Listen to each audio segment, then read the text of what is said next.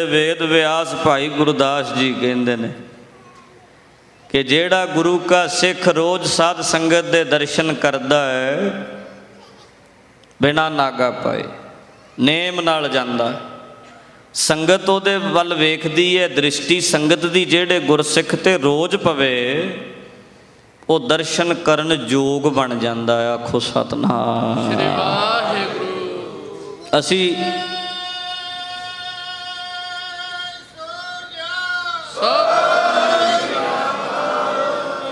ਅਸੀਂ ਯੋਗ ਨਹੀਂ, ਕਿਉਂਕਿ ਅਸੀਂ ਸੰਗਤ ਦੀ ਦ੍ਰਿਸ਼ਟੀ ਸਾਡੇ ਤੇ ਰੋਜ਼ ਨਹੀਂ ਪੈਂਦੀ।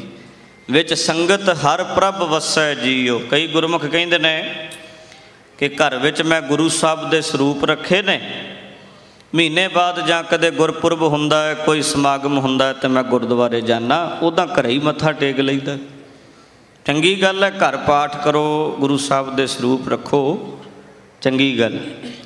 ਪਰ ਖਿਮਾ ਕਰਨਾ ਬਹੁਤ ਸਾਰੇ ਲੋਕਾਂ ਨੇ ਤੇ ਲੋਕਾਂ ਨੂੰ ਵਿਖਾਉਣ ਵਾਸਤੇ ਸਰੂਪ ਰੱਖੇ ਹੋਏ ਨੇ ਵੀ ਮੈਂ ਧਰਮੀ ਆ ਠੱਪਾ ਲੱਗ ਜਾਏ। ਵੀ ਇਹ ਬੰਦਾ ਬੜਾ ਧਰਮੀ ਹੈ ਜਿਹੜਾ ਗੁਰੂ ਸਾਹਿਬ ਦੇ ਸਰੂਪ ਰੱਖੀ ਬੈਠਾ ਮੈਂ ਕੈਨੇਡਾ ਅੱਖੀਂ ਵੇਖੀ ਗੱਲ ਏ। ਅਸੀਂ 10 ਵਜੇ ਕਿਸੇ ਦੇ ਘਰ ਗਏ।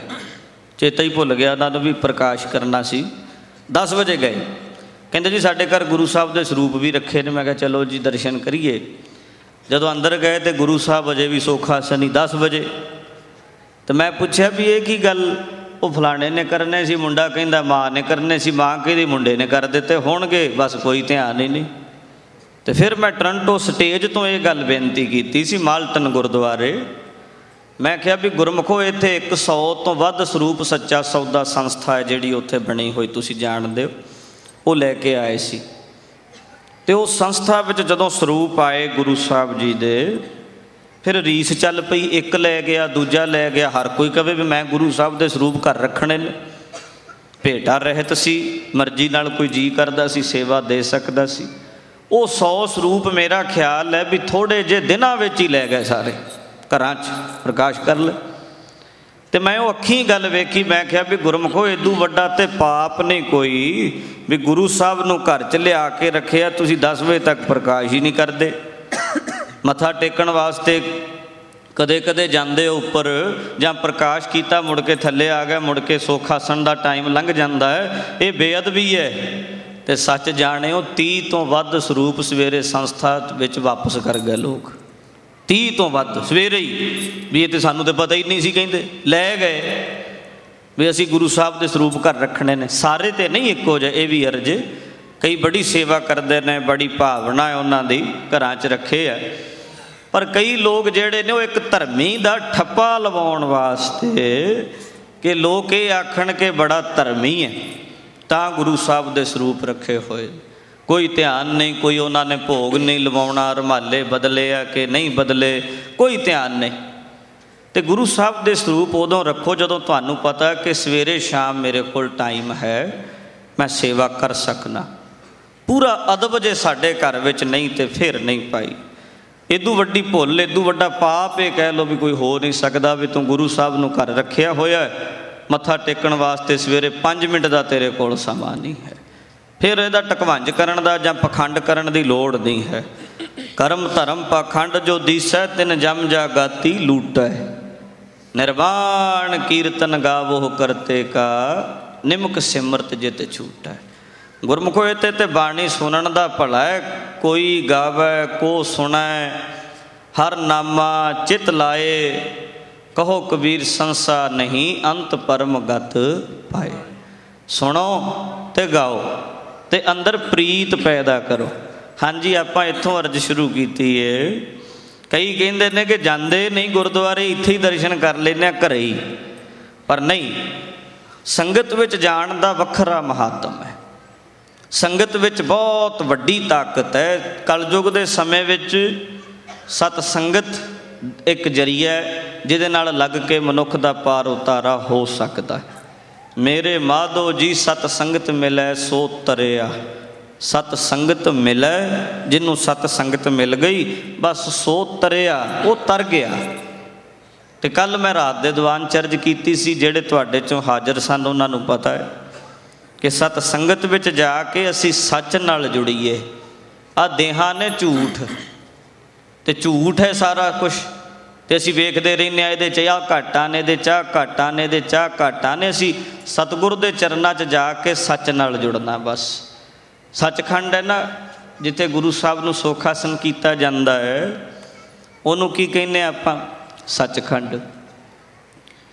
ਇੱਥੇ ਗੁਰੂ ਸਾਹਿਬ ਜੀ ਨੇ 18 ਘੰਟੇ ਰਹਿਣਾ।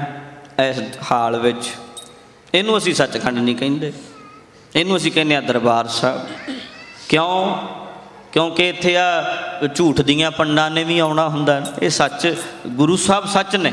ਪਰ ਝੂਠ ਦੀਆਂ ਪੰਡਾਂ ਵੀ ਇੱਥੇ ਬੈਠੀਆਂ ਨੇ ਨਾਲ। ਸਾਡੇ ਕੋਲ ਕੂੜ ਹੀ ਕੂੜ ਹੈ, ਝੂਠ ਹੀ ਝੂਠ ਹੈ। ਤੇ ਜਿੱਥੇ ਅੰਦਰ ਗ੍ਰੰਥੀ ਸਿੰਘ ਅਰਦਾਸ ਕਰਕੇ ਬਾਹਰ ਆ ਜਾਂਦਾ, ਕੋਈ ਮਰਿਆਦਾ ਨਹੀਂ ਕਿ ਅੰਦਰ ਏਸੀ ਲੱਗਿਆ ਤੇ ਤੁਸੀਂ 에ਅਰ ਕੰਡੀਸ਼ਨ 'ਚ ਸੌਂ ਜਾਓ ਜਾ ਕੇ ਗੁਰੂ ਸਾਹਿਬ ਦੇ ਕੋਲ। ਉੱਥੇ ਕੇਵਲ ਸ਼ਬਦ ਦਾ ਹੀ ਵਾਸਾ ਹੈ, ਸੱਚ ਦਾ ਹੀ ਵਾਸਾ ਹੈ। ਇਸੇ ਕਰਕੇ ਉਹ ਸੱਚਖੰਡ ਹੈ, ਇਹ ਦਰਬਾਰ ਸਾਹਿਬ ਹੈ। ਉਹ ਉਹਨੂੰ ਸੱਚਖੰਡ ਕਿਹਾ ਜਾਂਦਾ। ਗੁਰਦੁਆਰੇ ਬੜੇ ਨੇ, ਪਰ ਹਜੂਰ ਸਾਹਿਬ ਨੂੰ ਕਹਿੰਦੇ ਨੇ ਸੱਚਖੰਡ ਸ੍ਰੀ ਹਜੂਰ ਸਾਹਿਬ। ਕਿਉਂ? ਕਿਉਂਕਿ ਉੱਥੇ ਸਰੀਰ ਨੂੰ ਗੱਦੀ ਨਹੀਂ ਮਿਲੀ, ਉੱਥੇ ਸ਼ਬਦ ਨੂੰ ਗੱਦੀ ਮਿਲੀ ਹੈ। ਸ਼ਬਦ ਸੱਚ ਹੈ ਤੇ ਸਰੀਰ ਝੂਠ ਹੈ। ਸਰੀਰ ਨੇ ਨਾਸ਼ ਹੋ ਜਾਣਾ। ਇਸ ਕਰਕੇ ਉਹ ਸੱਚਖੰਡ ਸ੍ਰੀ ਹਜੂਰ ਸਾਹਿਬ। ਸੋ ਇਸੇ ਕਰਕੇ ਇਹ ਸੱਚ ਦਾ ਵਾਸਾ ਹੈ ਇੱਥੇ। ਤੇ ਸੱਚ ਸਾਡੇ ਹਿਰਦੇ ਵਿੱਚ ਵਸੇ, ਸਤ ਸੰਗਤ ਵਿੱਚ ਆਈਏ, ਸਤ ਸੰਗਤ ਮਿਲੈ ਸੋ ਤਰਿਆ ਉਹ ਤਰ ਜਾਂਦਾ ਹੈ। ਜਿਹੜਾ, ਜਿਹਨੂੰ ਪਤਾ ਹੈ ਕਿ ਸੰਗਤ ਵਿੱਚ ਜਾਣਾ ਕਿਵੇਂ ਹੈ, ਬਹਿਣਾ ਕਿਵੇਂ ਹੈ, ਮੈਂ ਪੱਲੇ ਬੰਨਣ ਵਾਸਤੇ ਜਾਣਾ ਉੱਥੇ। ਮਕਸਦ ਹੁੰਦਾ ਹੈ, ਕਿਸੇ ਵੀ ਕੰਮ ਜਾਂਦੇ ਹੋ, ਤੇ ਉਹਦਾ ਅਰਥ ਹੈ ਪਿੱਛੇ ਕੋਈ। ਜਿਨ੍ਹਾਂ ਨੇ ਹੁਣ ਬੱਚੇ ਛੱਡੇ ਨੇ, ਇੱਥੇ ਬੈਠੇ ਨੇ ਕਈ ਕਈ ਸਾਲਾਂ ਦੇ, ਵੇਖੇ ਹੀ ਨਹੀਂ ਮੁੰਡਿਆਂ ਦੇ ਮੂੰਹ। ਕਈ ਇਦਾਂ ਦੇ ਤੁਹਾਡੇ ਚ ਸਿੰਘ ਵੇਖੇ ਨੇ, ਅਮਰੀਕਾ 'ਚ ਇੱਥੇ ਆ ਕੇ, ਕਿ ਬੱਚੇ ਸਾਲ-ਸਾਲ ਦੇ ਛੱਡ ਕੇ ਆਏ ਸਨ, ਹੁਣ ਅੱਗੇ ਉਹਨਾਂ ਦੇ ਸਾਲ-ਸਾਲ ਦੇ ਹੋ ਗਏ ਨੇ, ਅਜੇ ਤੱਕ ਵੇਖੇ ਹੀ ਨਹੀਂ। ਅਜੇ ਤੱਕ ਮੁੜ ਕੇ ਨਹੀਂ ਗਏ। ਅੱਗੇ ਉਹਨਾਂ ਦੇ ਵੀ ਪੋਤਰੇ ਵੀ ਹੋ ਚੁੱਕੇ ਆ, ਪਰ ਮੁੜ ਕੇ ਪੁੱਤਰ ਦਾ ਮੂੰਹ ਨਹੀਂ ਵੇਖਿਆ। ਪਰ ਕੋਈ ਮਕਸਦ ਤੇ ਸੀ ਨਾ ਵੀ ਅਸੀਂ ਕਿਉਂ ਆਏ ਆ ਅਮਰੀਕਾ 'ਚ? ਬੱਚਿਆਂ ਨੂੰ ਪਾਲਣਾ ਹੈ, ਉਹਨਾਂ ਦੀ ਪਰਵਰਿਸ਼ ਵਾਸਤੇ, ਸੁੱਖ ਸਹੂਲਤਾਂ ਵਾਸਤੇ, ਮਾਇਆ ਵਾਸਤੇ ਚੰਗਾ ਸਭ ਕੁਝ ਮਿਲੇ। ਇਸ ਵਾਸਤੇ ਲਕਸ਼ ਹੈ ਕੋਈ। ਆਪਣੇ ਘਰੋਂ ਜਦੋਂ ਵੀ ਨਿਕਲਨੇ ਆ ਕੰਮ ਤੇ ਕੋਈ ਲਕਸ਼ ਹੈ ਕਿ ਮੈਨੂੰ ਇੰਨੀ ਰੋਜ਼ ਦੀ ਦਿਹਾੜੀ ਬਣਦੀ ਹੈ, ਇੰਨੀ ਇਨਕਮ ਹੈ, ਮੈਨੂੰ ਘਰੋਂ ਤੁਰੀਦਾ ਹੈ, ਮਕਸਦ ਹੁੰਦਾ ਕੋਈ। ਅਸੀਂ ਜਦੋਂ ਗੁਰਦੁਆਰੇ ਆਉਂਦੇ ਆ ਸਾਡਾ ਉਸ ਵੇਲੇ ਮਕਸਦ ਕੀ ਹੁੰਦਾ? ਸਾਨੂੰ ਇਹ ਸੋਚਣਾ ਚਾਹੀਦਾ। ਵੀ ਅਸੀਂ ਗੁਰਦੁਆਰੇ ਚੱਲੇ ਆ ਸਾਡਾ ਮਕਸਦ ਕੀ ਹੈ? ਮਕਸਦ ਤੋਂ ਬਿਨਾਂ ਹੀ ਅਸੀਂ ਉੱਥੇ ਮਕਸਦ ਕੀ ਹੈ ਵੀ ਅਸੀਂ ਉੱਥੇ ਮੰਗਣ ਚੱਲੇ ਆ ਵੀ ਸੱਚੇ ਪਾਤਸ਼ਾਹ ਆ ਰੱਖ ਦਿੱਤਾ 1 ਡਾਲਰ, ਹੁਣ ਕਿਰਪਾ ਕਰੋ, ਇੱਕ ਤੇ ਮੈਨੂੰ ਇੱਥੋਂ ਦਾ ਸਿਟੀਜ਼ਨ ਬਣ ਜਾ ਮੈਂ, ਮੇਰਾ ਗ੍ਰੀਨ ਕਾਰਡ ਆ ਜਾਏ, ਮੇਰਾ ਇੰਡੀਆ 'ਚ ਵੀ ਕਿਰਪਾ ਰੱਖਿਓ, ਇੱਥੇ ਵੀ ਕਿਰਪਾ ਰੱਖਿਓ 1 ਡਾਲਰ ਰੱਖ ਕੇ ਮੈਨੂੰ ਲੱਗਦਾ ਮਹਾਰਾਜ ਨੂੰ ਖਿਹੜਾ ਛਡਾਉਣਾ ਸਾਡੇ ਤੋਂ ਔਖਾ ਵੀ ਛੱਡ ਵੀ ਹੁਣ।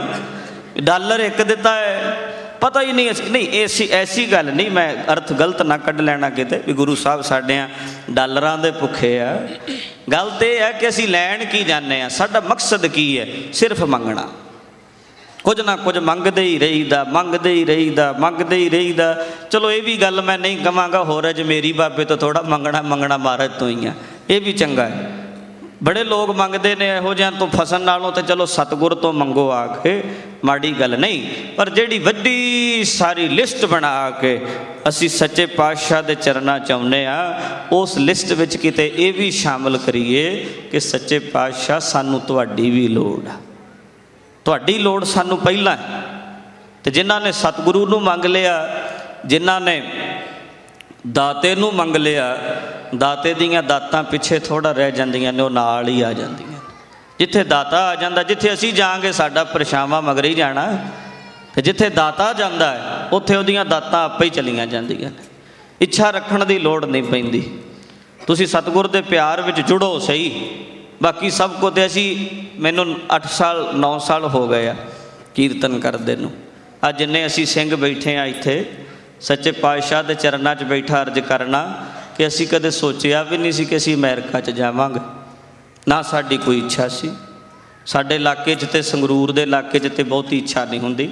ਮੈਂ ਉੱਥੇ ਵੀ ਬੇਨਤੀ ਕਰਦਾ ਹੁੰਨਾ ਹੈ ਕਿ ਸਾਡੇ ਜੇ ਸੰਗਰੂਰ, ਮਾਨਸਾ ਉਧਰ ਨੂੰ ਜੇ ਕਿਤੇ ਜਾਓ ਨਾ ਘਰਾਂ 'ਚ ਤੇ ਆਖਣਗੇ ਫਸਲ ਚੰਗੀ ਹੋਵੇ, ਝਾੜ ਚੰਗਾ ਨਿਕਲੇ ਤੇ ਜੇ ਦੁਆਬੇ 'ਚ ਜਾਓ, ਅਸੀਂ ਜਾਂਦੇ ਹੀ ਆ ਹੁਣ। ਕਪੂਰਥਲੇ 'ਚ ਜਾਓ, ਹੁਸ਼ਿਆਰ